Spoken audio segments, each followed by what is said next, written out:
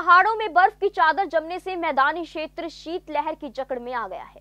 हरियाणा व पंजाब दोनों सुबह में कड़ाके की ठंड से कम कंपकपी बढ़ गई है। बारिश के बाद धुंध व कोहरा छाने से सड़कें, रेल और हाईवे मार्ग प्रभावित हुआ है। खासकर ट्रेन व हाईवे सेवाओं में देरी होने से यात्रियों को परेशानियों का सामना करना पड़ रहा है। चंडीगढ़ एयरपोर्ट भी कई फ़्लाइट निर्धारित समय की देरी से पहुँची। मंगलवार को हरियाणा व पंजाब में अमृतसर, जलंधर सबसे ठंडे रही।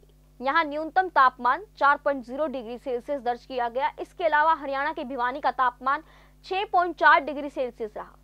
सिरसा का 7.3 डिग्री सेल्सियस, नारनौल का 8.2 डिग्री सेल्सियस तो हिसार का 8.4 डिग्री सेल्सियस तापमान रहा। बठिंडा में आज का न्यूनतम तापमान 8 डिग्री सेल्सियस था। पठानकोट में 5.0 डिग्री सेल्सियस दर्ज किया गया। वहीं मंगलवार को रेल मंत्रालय की ओर से उत्तरी राज्यों में चलने वाली एक दर्जन ट्रेनों के रद्द होने की सूचना जारी की। कुछ ट्रेनें अल्प तो कुछ लंबे समय के लिए रद्द की गई हैं। भारतीय मौसम वैज्ञानिक विभाग की रिपोर्ट के मुताबिक आगामी 48 घंटों में ठंड बढ़ेगी और अधिकतम और न्यूनतम तापमान में गिरावट आएगी। हालाँकि उत्तर दिशा से 15 से 20 किलोमीटर प्रति घंटा की रफ्तार से चलने वाली ठंडी हवाओं से ठिठुरन बढ़ने की संभावना है। चंडीगढ़ एयरपोर्ट से उड़ान भरने वाली और यहाँ पहुँचने वाली आधा दर्जन से ज़्यादा फ्लाइटें देरी से पहुँची। इसमें चंडीगढ़ से नादेड को उड़ान भरने वाली एयर इंडिया की फ़्लाइट ने दो घंटे की देरी उड़ी, देरी से उड़ी, जबकि मुंबई को जाने वाली एयर इंडिया की फ़्लाइट भी 25 मिनट की देरी से उड़ी। यह नहीं, चंडीगढ़ पहुँचने वाली फ्लाइटें भी निर्धारित समय की देरी से पहुँची। इसमें मुंबई से आने वाली फ़्लाइट का समय सुबह आठ बजे था, लेकिन वह करीब डेढ़ घंटे की देरी के साथ साढ़े दस बजे पहुँची।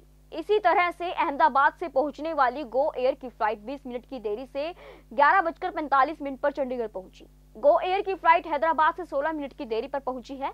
मुंबई से आने वाली इंडिगो की फ़्लाइट 28 मिनट और बेंगलुरु से आने वाली एयर इंडिया की फ़्लाइट 45 मिनट की देरी से चंडीगढ़ पहुँची।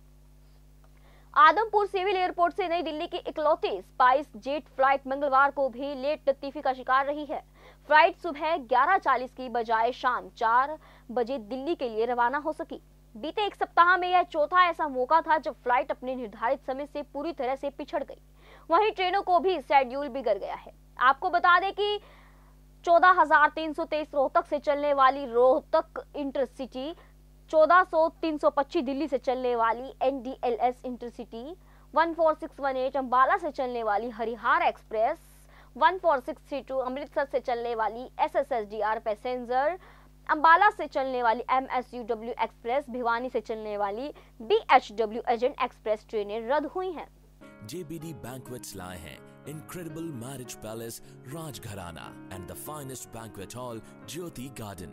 World-class catering, centrally air-conditioned, lush green lawns, state-of-the-art lighting. A perfect venue for wedding, launching and parties. Rajgharana and Jyoti Garden at JBD Banquets Enterprise.